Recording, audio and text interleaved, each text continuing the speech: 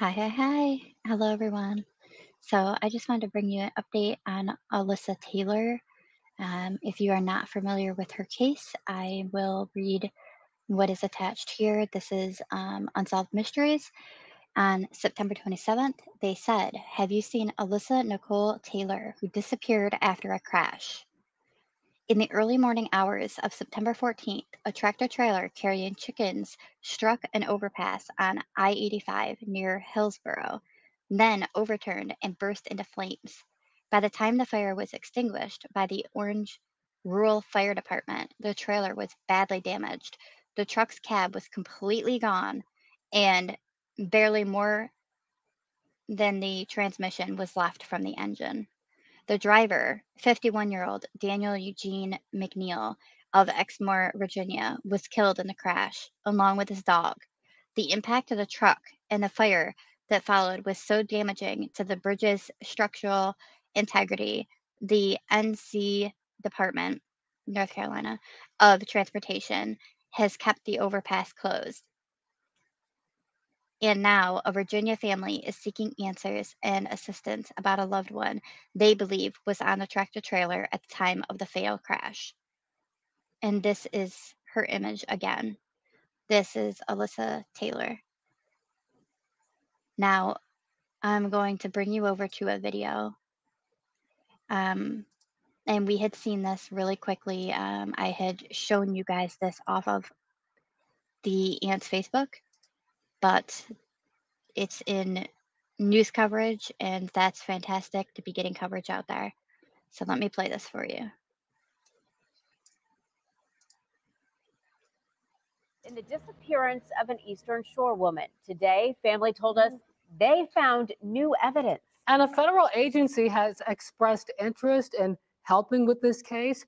10 on your side, John Dowding first told us about this disappearance last week. John, what is the very latest? Well, Stephanie Regina, it's funny how something so small can mean so much. Family members of Alyssa Taylor found an earring in a storm drain at the scene of a fiery crash.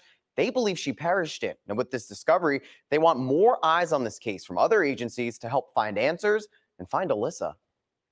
Since September 13th, have you or any of your other family members heard from Alyssa? No. Two weeks after reporting her missing, family members of Alyssa Taylor believe the 25 year old mom of two died in a fiery crash on I 85 in North Carolina on September 14th. The crash killed the driver, Danny McNeil. But North Carolina agencies who responded to the crash say they found no evidence of Alyssa at the scene. Before leaving North Carolina last week, family members decided to go back to the scene of the accident. We wanted to do a memorial for her as well as for Danny, you know, because Danny did die, you know, his family's six hours from that scene. I can't imagine a loved one dying and being that far away. While there, they made a shocking discovery, all caught on camera. You got it? Oh my God. Oh my God, it's her earring. it's definitely her earring. Family members found one of Alyssa's earrings in a storm drain at the scene of the crash. Yes, it's my baby's earring. As soon as I saw it, I was like, wait a minute, I'm pretty sure because we were going through pictures previously. I'm like, I'm pretty sure I have a picture of her wearing that. And so we pulled it up, and sure enough, we do have a picture where she's wearing that exact same pair of earrings. Alyssa's aunt Sabrina says they want the case to be handed over to another agency to investigate further.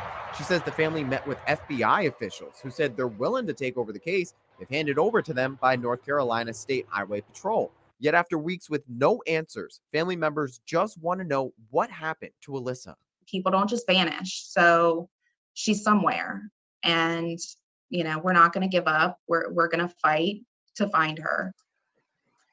The family members will give the earring they found to Accomack County investigators this week. A cell phone was also recovered by investigators, but at this point, they don't believe it's related to Alyssa's disappearance. I'm John Dowding, 10 on your side. Right. Okay. So New developments. that was quite a, um, I mean, y- they said that the FBI is willing to take over this case. Now, it's just the fact that the North Carolina Highway Patrol won't turn it over. Why? why not turn it over? You you've already done. They already went out. They said that they searched the um, landfill, right? And they said that there was nothing. The dog didn't pick up on anything. So at this point, if you're done, you've done. You think you've uh, you've done your duty. Turn it over to the FBI. Turn it over to any anyone else um, instead of holding on to it. Um, right now, the uh, I believe it's Acoma, uh, or uh, they they're in Virginia. They're the ones that have the missing person case, and so this is the update that um, her aunt Shelly had given, which is I know it's been a few days since I updated everyone. Alyssa Taylor, uh, Alyssa Taylor's case is still being investigated.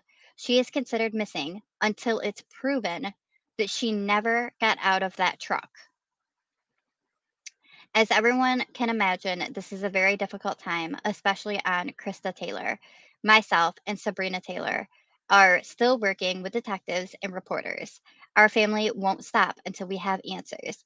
We will have a service for Alyssa Taylor, but not until we have more answers. Please respect my sister and know um, and know when a service is planned. We'll let you know We'll let everyone know. When we know more information about the case, we'll update everyone. Thank you to everyone that has helped my family. We truly appreciate you all. And it says hashtag Eastern Shore Strong. So ultimately, it's claimed to still be investigated. However, what it's being, what part of it is being investigated is the missing person portion of it, which is out of Virginia. Um, they, I, I had seen that um, supposedly it's claimed that there's footage of the truck going to stops and only Daniel getting out of the truck, him being the only one that was seen getting in and out of the the tractor trailer. And so, therefore, that's part of the reason that they're claiming that sh- they don't believe that she was even in the vehicle anymore. so, um, I just wanted to give you guys that quick update and let you guys know, um, you know, please continue to share it out. Try to get this family, um, you know, to be able to have somebody else step in. If enough noise is created, then possibly we can get this turned over to somebody else. And we already know the FBI is willing to take it. So um, it's not like it's there's there's no one willing. Uh, so you know, I, I was contacted by somebody that um, said they tried to post Alyssa's case on a Reddit thread and it got denied and it was stated that it was not true crime. How is a missing person not true crime? She's missing. The bottom line is she's missing no matter which way you look at it, whether she was or was not. You've either got somebody that's alive and missing right? Or possibly deceased and somewhere else and missing, or was in that wreck and deceased and missing. This family deserves closure. They deserve closure. They deserve to be able to get her and to bring her back home and be able to lay her at rest in peace where they choose, you know? So, um, please continue to share her story and continue to talk about it and see if we can get um, get this turned over. But uh, thank you for listening, everybody. I greatly appreciate it. Thank you so much. I'll talk to you guys in my next video. Thank you. Have a good one. Bye, everyone.